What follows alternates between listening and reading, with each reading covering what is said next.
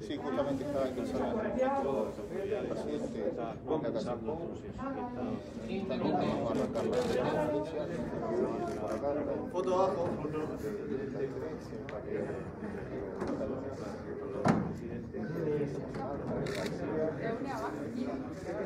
También Claro, por eso. Para que el margen derecho hubiese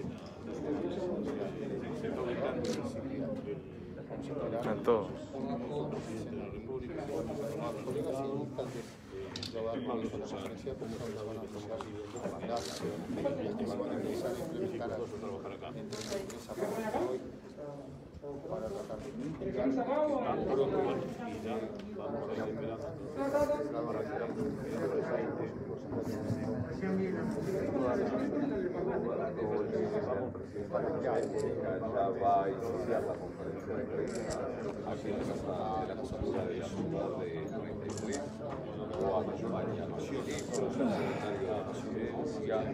la conferencia de prensa aquí en la Casa de la Cultura de la Ciudad de 33 o acompaña los ministros, el secretario de la Presidencia, el intendente del departamento de 33 y el presidente de ACE, quienes ya están aquí para cerrar esta de prensa. Vamos a ver si hay más casos de COVID-19. Teníamos hasta ahora 18 citados para qué es lo que resuelve el gobierno respecto a la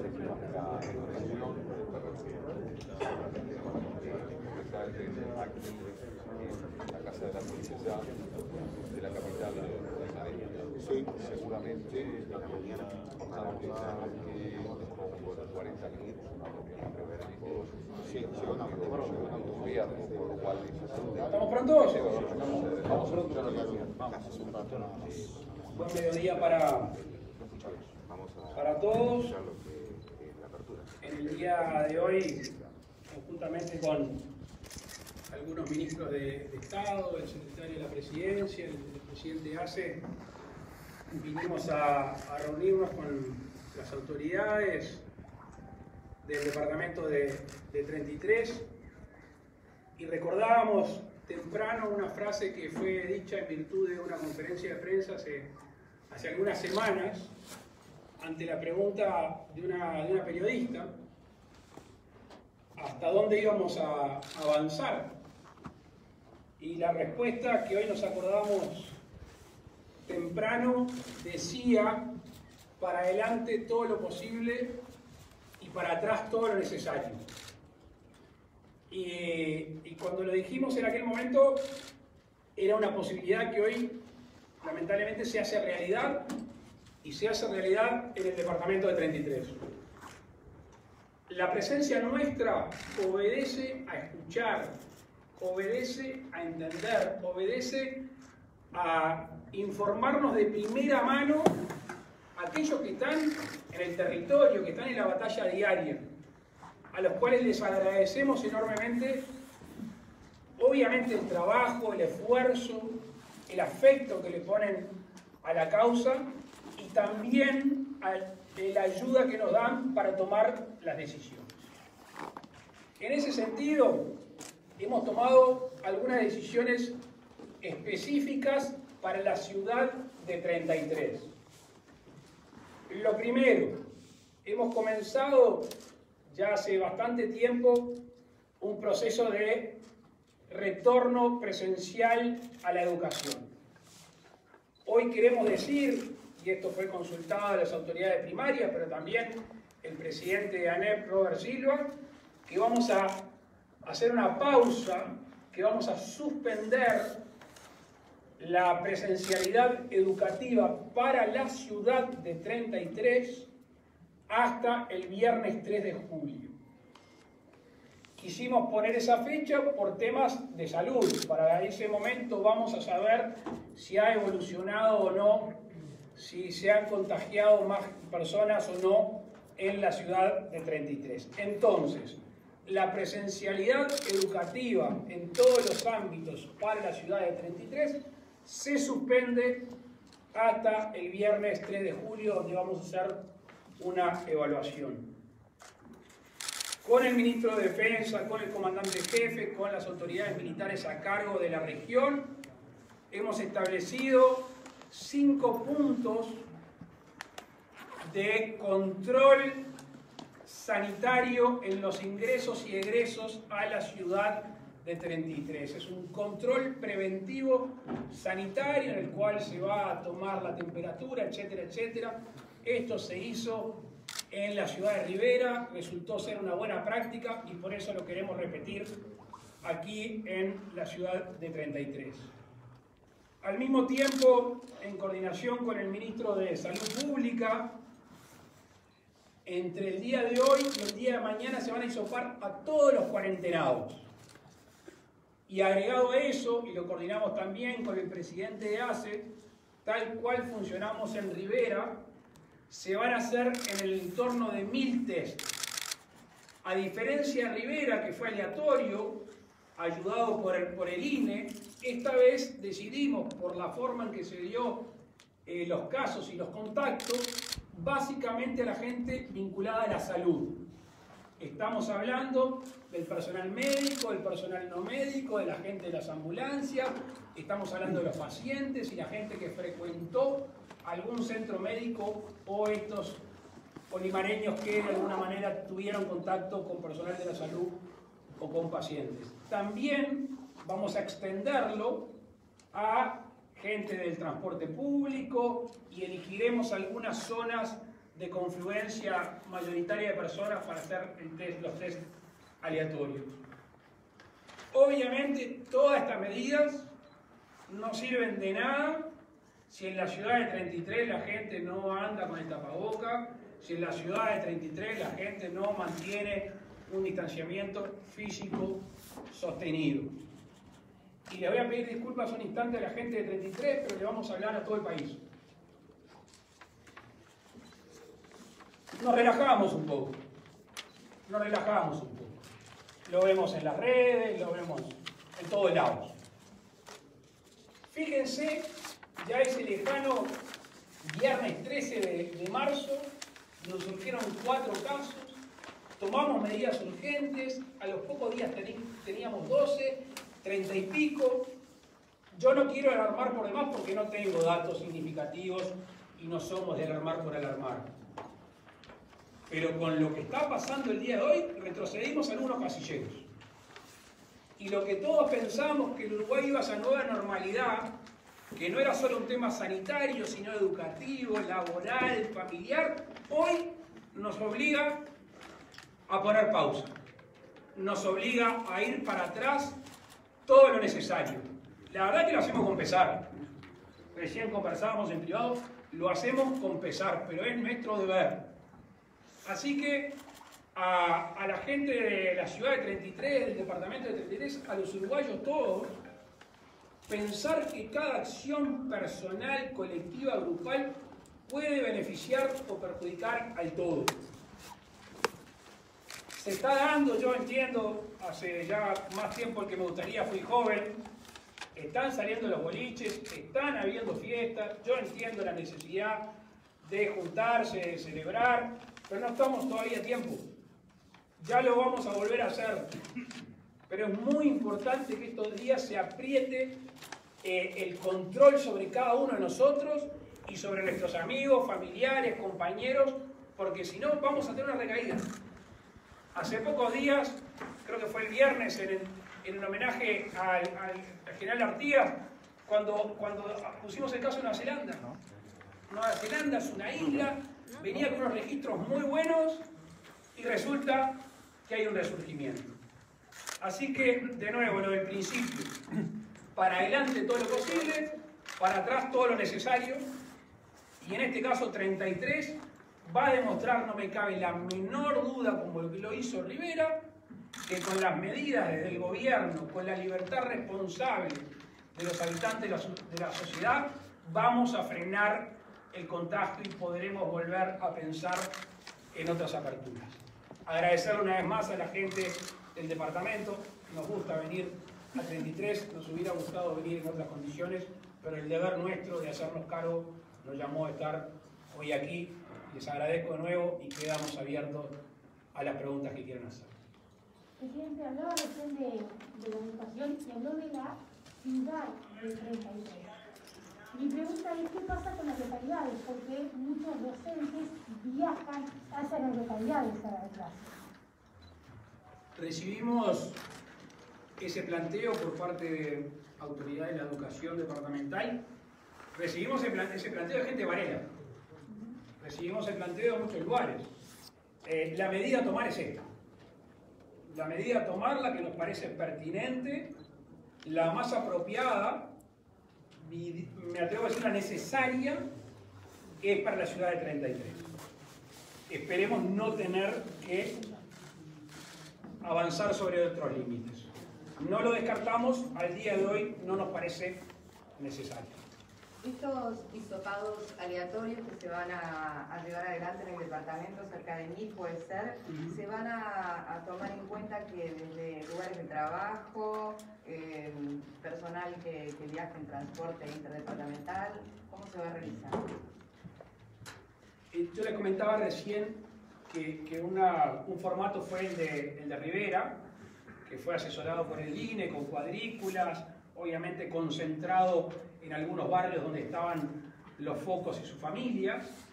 En este caso, por la forma en que se dio el contagio, que surge de adentro, seguramente una institución de la salud, y allí se generaliza, vamos al foco vamos al personal de la salud, vamos a los pacientes, vamos a sus familias, vamos a gente que trabaja en el transporte público por el contacto que tiene con, con- con- con otros ciudadanos, vamos a tener una cuota de estos test aleatorios, estos casi mil, este, justamente, para la redundancia, aleatorios, pero no se olviden que por otro lado están los 200 y pico de test de la gente que ya está cuarentenada que tuvo contactos con la gente que está contagiada. Esos son los que sí o sí tenemos que hacer porque están cuarentenados.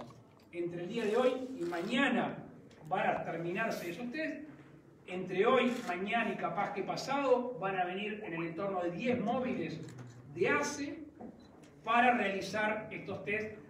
Vamos a llamarle aleatorios a los que no son porque son más concentrados en el sistema de salud y la gente que tuvo contacto. Presidente, ¿les sorprendió esta situación aquí en 33, este brote? Y sí. La gente que sabe, a la gente que sabe no. Nosotros veníamos con otra cabeza, pero, pero lamentablemente la- la- la- las circunstancias indican que tenemos que, que concentrarnos en otra cosa. Como reflexión, nunca es bueno aprender de las cosas malas. Algún día la humanidad va a aprender a crecer en, en las oportunidades y no en las crisis, pero mientras tanto, esto nos sirve el caso de 33 nos sirve para todo el país. Estuvimos festejando cero casos, estuvimos festejando un caso y resulta que un día para el otro tuvimos 18, 19 casos. Esto nos da la clara señal de que esto no está ganado, que esto no está ni cerca y que va a ser más largo. Que el cuidado va a ser más largo, que el distanciamiento eh, físico sostenido va a ser largo, que el uso de tapabocas va a ser largo y que algunas actividades no se van a llevar a cabo ya pensando un poquito más. Lamento dar una noticia que no sea muy alentadora, pero si hacemos eso, el final del túnel, que hace mucho tiempo parecía muy lejos, que hace pocos días parecía que estábamos ahí viendo la luz, bueno, volvemos un poquito, un poquito para atrás. Señor presidente, Celso Cuadro de Telemundo 12, eh, lo consulto. ¿Cuántas camas de CTI tiene 33? Eh, ¿Qué situación tiene de respuesta de 33 ante un brote un poco más, más agresivo quizás que en otros lugares y demás, o que esto se extienda un poco más? No sé si es para usted puntualmente la pregunta, si me la puede Me, responder. me autorizan a contestar la Bueno, bueno. me autorizan. Le agradezco. Al, al principio habíamos dicho que desde la ciudad de Minas a este, Cerro Largo no había este, tratamiento intensivo. En ese sentido, me informa el presidente de ACE que para fin de julio, Los primeros días los primeros días de julio, se van a instalar ocho camas en el hospital. en el hospital de, de CTI. ¿Cuántas hay, cuántas hay hoy funcionando? Eh, a nivel privado inclusive. Hoy hay 8 Ocho. con 5 con capacidad para respirar. Sin perjuicio de eso, y agradezco la pregunta, especialmente no lo pusimos en el comunicado de prensa porque no queremos alarmar. O sea, los casos que hay hoy en, en- en 33 no significa que tengamos enfermos de gravedad, no significa que tengamos en tratamiento intensivo. Por eso no quisimos mezclar lo que, sí, lo que hicimos sí decir a la opinión pública, porque es dentro de todo una buena noticia que en la región este, tengamos una capacidad mayor si es que necesita tratamiento intensivo, obviamente no solo para este, este para, el, para el COVID, sino para otras, otras este, enfermedades. Presidente, ¿de cuántos casos estamos hablando en el, en el departamento hoy? Exactamente, 18. Seguimos. Se exactamente esperan resultados. 18 estamos esperando en torno de 33. 33, resu- 33 resultados más. La gente tiene miedo del tema de la salud, eh, que se resienta, porque hay muchos enfermeros, muchos personal que está este, justamente en contacto con este, los pacientes. Y hay gente que tiene miedo de que se resienta la atención. Si es necesario, vendrán gente de otro lado a atender a atender. Hoy, hoy de mañana, como yo soy fan del presidente ACE, lo venía escuchando en una entrevista en una radio y fue contundente al decir que el sistema de salud es nacional, es uno. ACE es uno para todo el país. Así que si eventualmente, corríjame si no lo escuché bien, eventualmente si hay que trasladar personal de otra región, de otros lugares, se trasladará aquí a la ciudad de, de 33. Por ahora no es necesario, pero siempre, tenemos abierta esa, posibilidad. ¿Cómo se, podría definir la, situación acerca del brote? ¿Y se- ya se logró establecer cuál es el, el primer caso, el, el primer contagio aquí? Sí, es adentro de un establecimiento de, la salud. Teníamos una duda al principio, que casi todo el mundo la, difun- la difundió. Volvimos para atrás, eh, está ahí adentro y, por eso la política llevada adelante de hisopado, etcétera, está basada básicamente en el sistema de salud de la, de la ciudad. Presidente, perdón, en una consulta nuevamente. Cuando se habla de eh, que las personas deben permanecer en cuarentena, ¿cómo se debe cumplir? ¿Cuál es el protocolo que debe seguir una familia este, en una cuarentena intrafamiliar, dentro de su hogar? Es una pregunta muy amplia porque este, hay, distintos grados de, de hogar, distintos tipos de hogar. Un hogar, una familia medianamente pudiente donde tiene muchos ambientes, Pueden estar cada uno por separado. En una familia menos pudiente, donde los hogares son pequeños, son chicos, es mucho más difícil. Y ahí se recomendaría tener uso de tapaboca, bastante alcohol, bastante alcohol y lavado de manos, higienizarse, dentro de las posibilidades de cada uno, obviamente. Presidente, perdón, usted dijo que se había retrocedido Ujú. las. ¿Eso significaba de algún modo que iba a haber una apertura más grande? No quiero, no quiero hacer futurología, porque la venía haciendo y, y nos plancharon. Ahora, ustedes se acuerdan que nosotros decretamos una emergencia sanitaria. Entonces, lo que uno venía pensando es hasta, hasta cuándo hay emergencia sanitaria. ¿Hasta cuándo se sostiene una emergencia sanitaria? Que no quiere decir la existencia o no de emergencia sanitaria el distanciamiento, que se termine el distanciamiento físico sostenido ni el uso de tapaboca. Emergencia sanitaria como tal. Uno podía prever que si estábamos en el torno de 12 casos y seguía esa línea que no siguió, un mes y medio, 12, Uruguay podía levantar la emergencia sanitaria. Que no quiere decir la inexistencia de casos, pero ya no era una emergencia. Obviamente, esa idea al día de hoy queda naturalmente relegada por un tiempo. Esperemos, esperemos poderla, poder retomarla, pero de nuevo, depende de la conducta de los uruguayos.